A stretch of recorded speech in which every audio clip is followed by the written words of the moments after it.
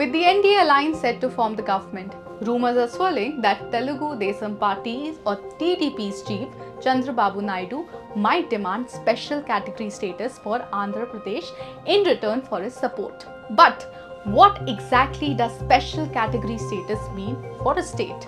Special category status is granted to regions that have been historically disadvantaged compared to the rest of the country.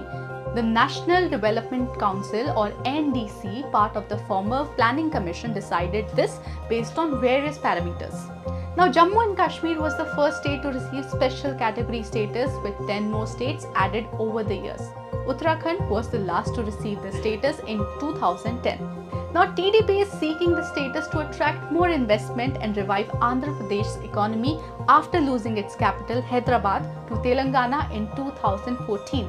The Congress government in power during the bifurcation and the Bharatiya Janata Party BJP during its 2014 election campaign promised the status. Then Prime Minister Manmohan Singh assured in the Rajya Sabha that Andhra Pradesh would receive the status for 5 years to stabilize its economy. Now this promise has been the basis for Andhra Pradesh's claim.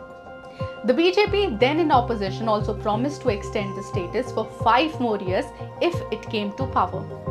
However, the 14th Finance Commission changed the scenario. It removed the distinction between general and special category states considering state backwardness in fund allocation. The special status was restricted to the three hill states Jammu and Kashmir, Himachal Pradesh and Uttarakhand and the northeast states. Instead, a revenue deficit grant was provided for states like Andhra Pradesh. Now, Finance Minister Arun Jaitley stated that centre would honour commitments made to Andhra Pradesh in 2014, but granting special category status was restricted by the 14th Finance Commission. Jaitley assured that Andhra Pradesh would receive monetary benefits equivalent to special status, covering 90% of central scheme cost, with the state contributing 10%. He also noted that 4,000 crore rupees had been granted to bridge Andhra's revenue deficit, leaving only 138 crore rupees pending.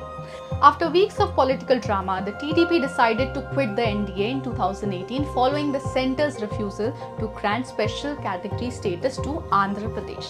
So, what can we expect this time? Will TDP demand special category status for Andhra Pradesh? Will the Narendra Modi led BJP agree? Stay tuned to Business Standard to find out.